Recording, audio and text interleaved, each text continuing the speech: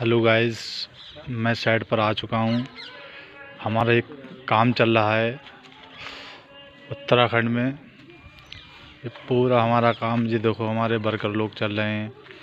ये पूरा हमारा काम इस प्रकार है। एक अठारह बाई नौ के कॉलम है, पाँच सूत का सरिया है ये। बहुत काफ़ी हैवी काम है ये सारा। जो स्ट्रक्चर हमने खड़ा किया है ये बना के, बहुत हैवी स्ट्रक्चर बनाया है इसका हमने।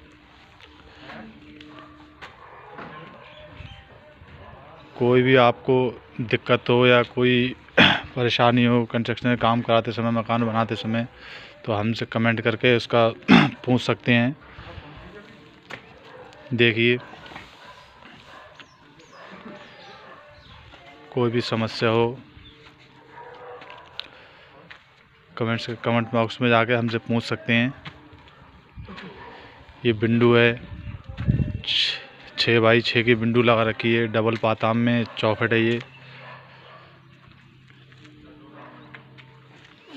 ये हमारे मज़दूर हैं, काम कर रहे हैं वर्कर लोग।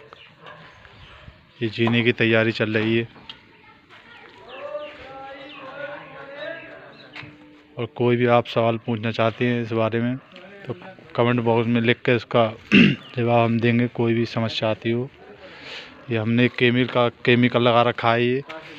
ये केमिकल सीलन के लिए सीलन से बचाता है ये।